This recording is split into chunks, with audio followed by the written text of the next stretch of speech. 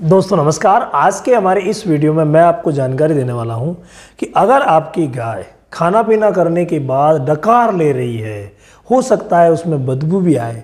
ऐसी अगर शिकायत आपकी गाय के साथ है तो आपको क्या करना चाहिए? ऐसी ही हमें एक शिकायत हमारे सब्सक्राइबर भाई मयंक कुमार जी ने भेजी है। पूछा है, सर, मेरी गाय चारा खाने के बाद बार बार डकार लेती है, कोई समाधान बताए?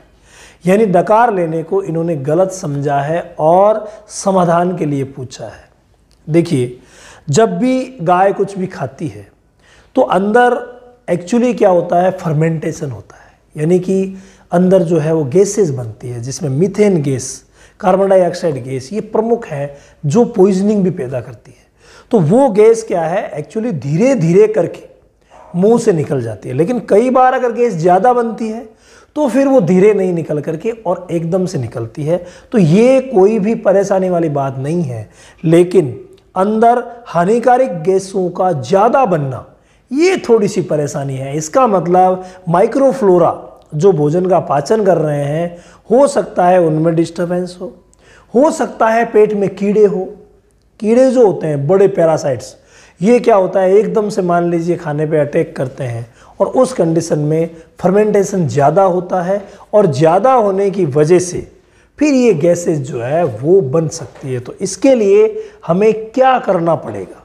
देखिए, आज मैं अभी आपको जो समाधान बताने जा रहा हूँ, उस समाधान में पहली चीज़ और दूसरी चीज़ हमेशा की तरह नॉर्मल है। पहली चीज़ डिवॉर्मिंग जो कि हम हमेशा की तरह ही ले रहे हैं।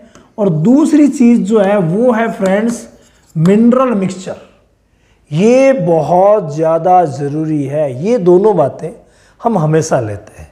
तीसरी एक और हम इसी में साथ में जोड़ देते हैं और वो है फ्रेंड्स लीवर टॉनिक यानी तीन चीज़ें हैं जो आपके एकदम से normal one two and three ये नॉर्मल बातें हैं जो हमें हमेशा फॉलो करनी चाहिए। इसके अलावा स्पेशलिटी क्या है? स्पेशलिटी जो इस तकलीफ़ की है, वो है माइक्रोफ्लोरा को इंक्रीज करना, माइक्रोफ्लोरा को बढ़ाना।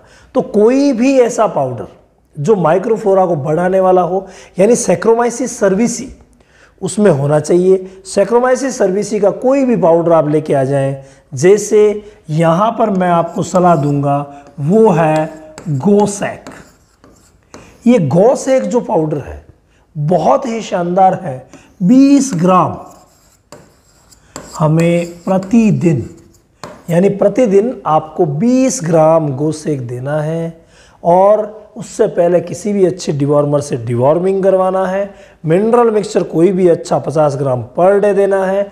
लीवर टॉनिक कोई भी अच्छा 100 एम पर डे 10 दिन तक देना है और इसे आप साथ में चलाएँ। तो आपके साथ जो ये समस्या हो रही है, वो एकदम से जड़ से मिट जाएगी।